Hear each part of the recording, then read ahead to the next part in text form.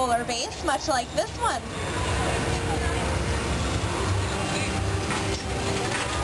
My name is Erin, and while the first gather is being made, I will tell you a little of the history and technique of glass artistry. In performing the art of glass blowing, we wish to enlighten the community in an otherwise elusive medium.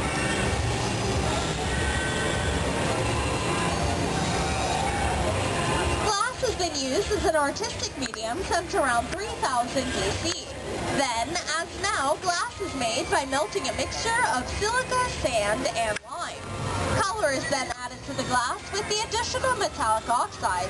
Copper, for instance, creates blue and green tones. Manganese creates purples.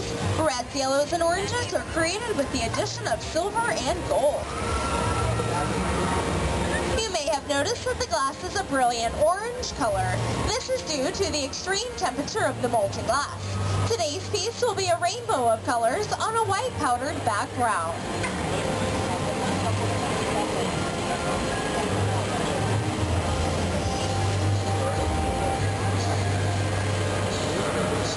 Jodi has just taken her first gather or layer of molten glass, rolled it into chips of colored glass, and then melted that color into the surface.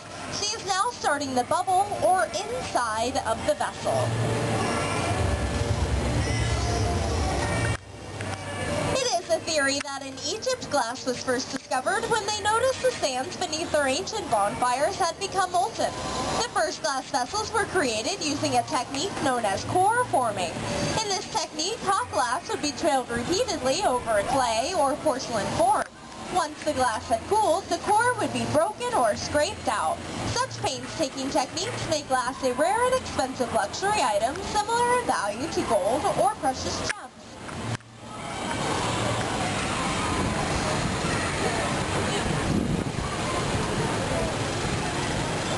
Jodi is now taking her second gather or layer of molten glass from the day furnace. The day furnace acts as a well, holding a pot of molten glass and remains at a constant temperature of just over 2,000 degrees. The glass cools quickly in between steps, giving the artist less than a minute of working time before the glass has to be reheated. Color is being added to the molten glass by rolling it into chips and powders of colored glass, then reheating that in the furnace, also maintained at 2,000 degrees. This furnace is used to reheat the glass between steps and is only kept on whilst the glass blower is working.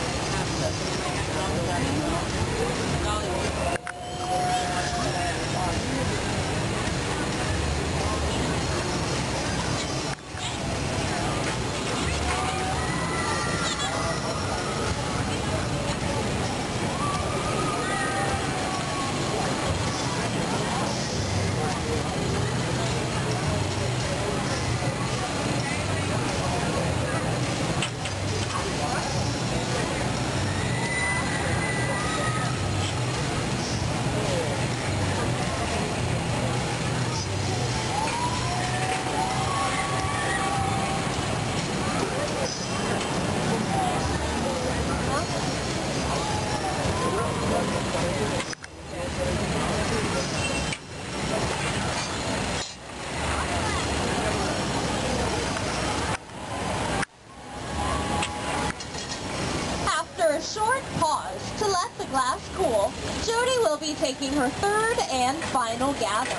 Each gather about doubles the size of the piece.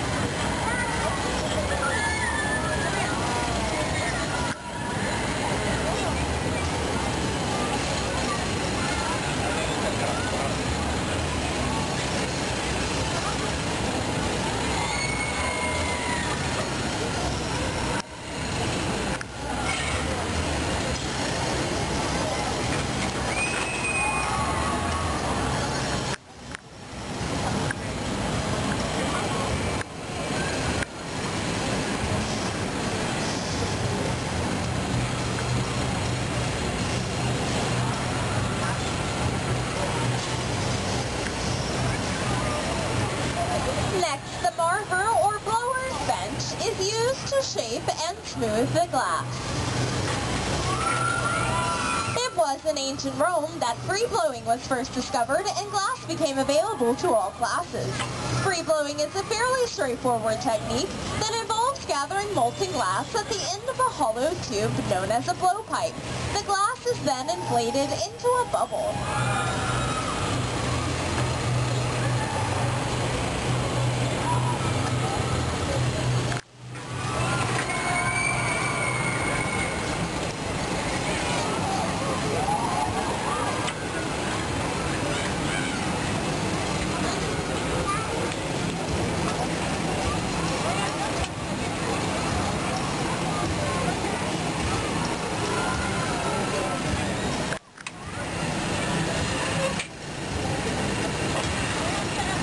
She is now using a tool known as the jack. The jack is used to create the jack line. This is where the piece will be removed or separated from the blowpipe. The marver is used to shape the glass into a cone. This cone will better fit into the mold.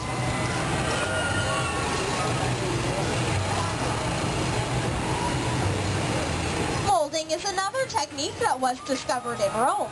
Originally, molds were made out of wood, clay, or porcelain and were often broken after one use. Jodi's mold is made of steel, as is the blowpipe and the marver.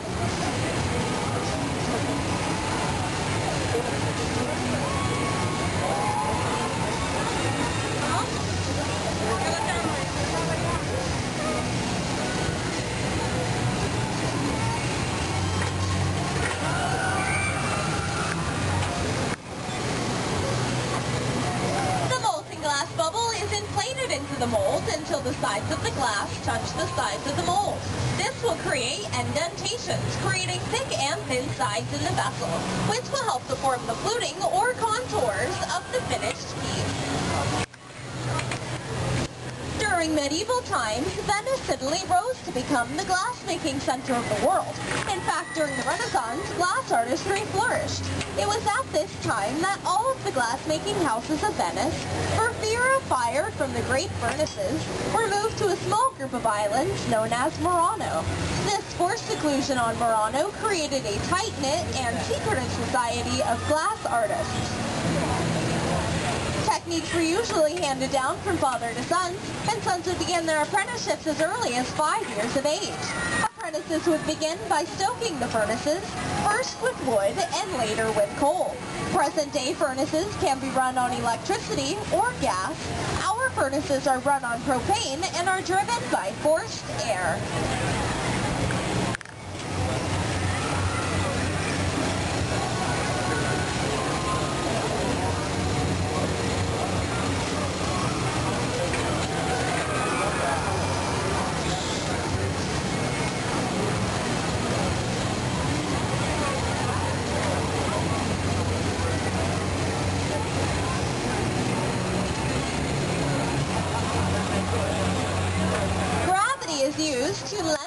Piece. By swinging the piece, the hot glass stretches.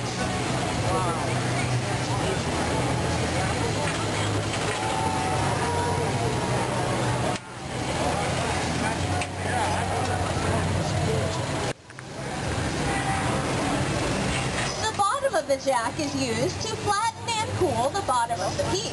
This allows the sides to inflate without over-thinning the bottom. Have noticed that the blowpipe is kept in constant rotation. This is in order to keep the glass on center and on the pipe. If she were to stop rotating the pipe, gravity would cause the glass to essentially drip off.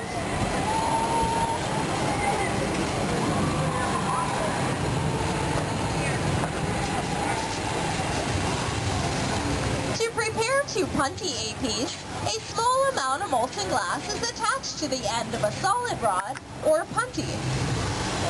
The punty is then attached to the bottom of the piece, and the piece is then broken away from the blowpipe, creating the open end.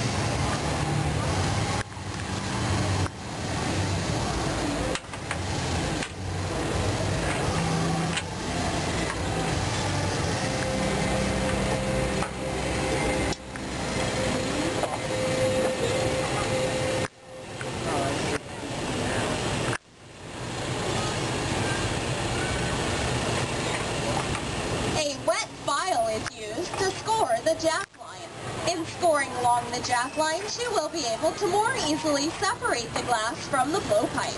The chill of the water also helps to give an easy break from the pipe.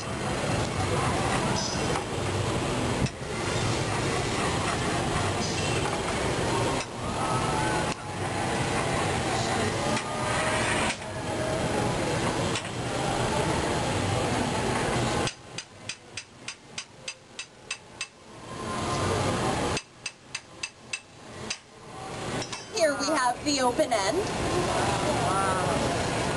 The open end is the coolest part of the piece because it was the closest to the blowpipe, where the metal rapidly cools the glass. There are many techniques displayed before you, and one of which is the Graal technique.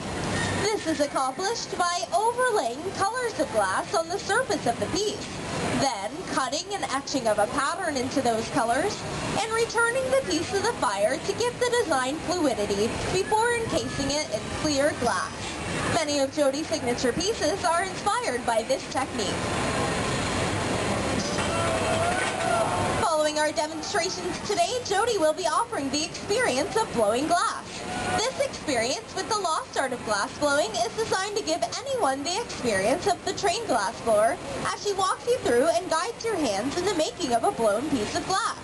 It takes many years to become a master in the art and only a small percentage of people experience the magic of this medium when it's expertly performed with the hands of a trained glass blower. Today you can sign up for a session with the artist and can keep the piece that you yourself created. See us after the show for the experience that we call man versus medium. The tips of the jack are now used to open the end of the base.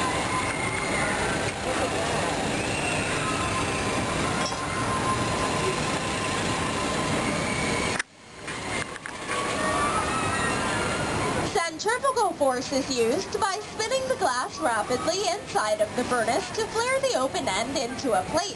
At the desired diameter, the piece will be dropped to form the fluted base.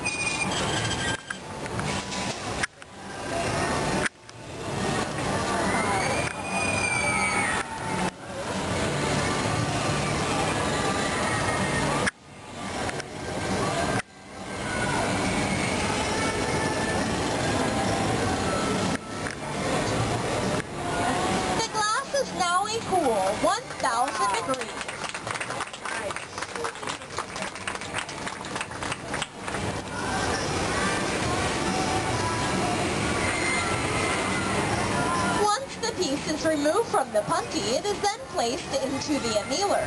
The annealer is maintained at 930 degrees and cools down very slowly overnight. This process both tempers the glass and prevents it from cracking.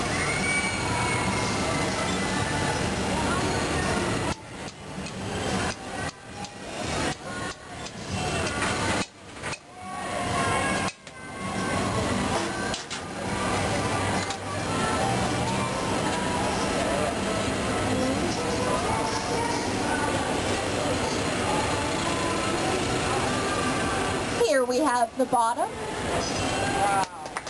and the finished base.